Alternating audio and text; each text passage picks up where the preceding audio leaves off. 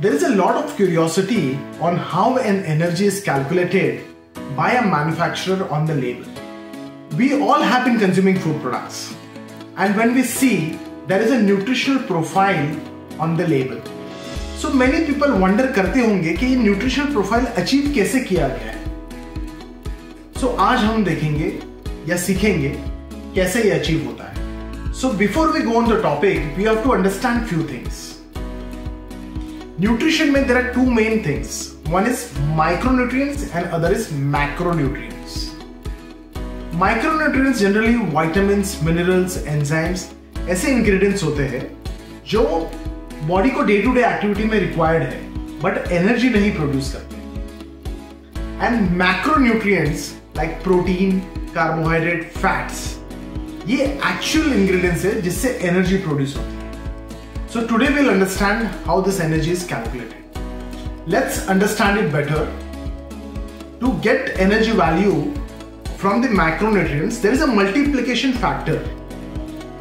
So हर macronutrient का एक factor होता है जो भी ingredients हम डालेंगे product में उसको उस factor से multiply करना है So let's say protein molecule. So protein का 1 gram will give you 4 calorie.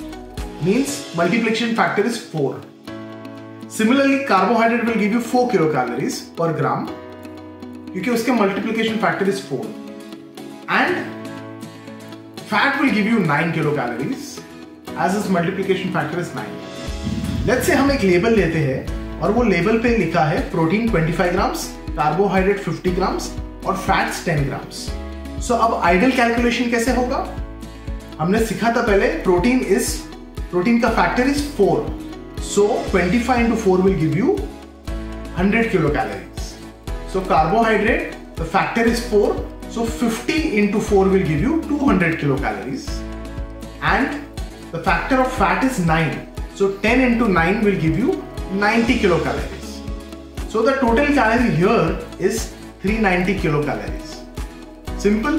This is an ideal condition.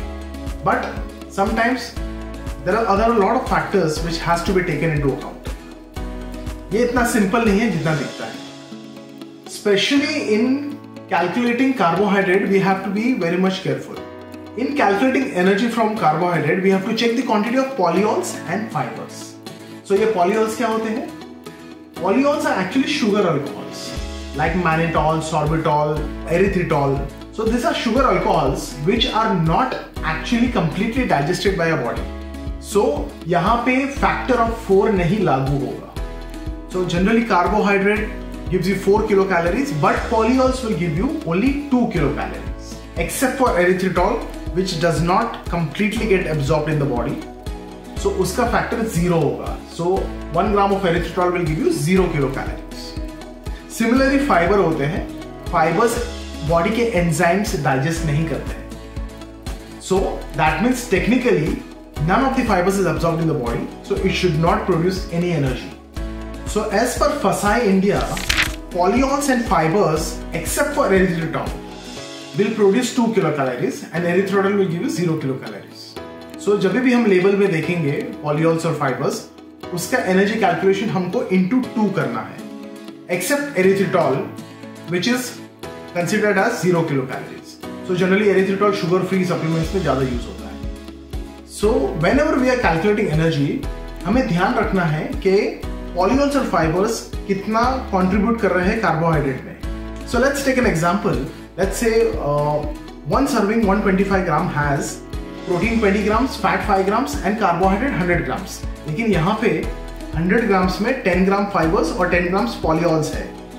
So how the calculation will be we all know protein का factor is 4 so 20 to 4 will give you 80 kilocalories, fat will give you 5 into 9, 45 kilocalories, and carbohydrate should give you 100 into 4, 400 kilocalories. But यहाँ पे polyols 10 grams है and fibers 10 grams है.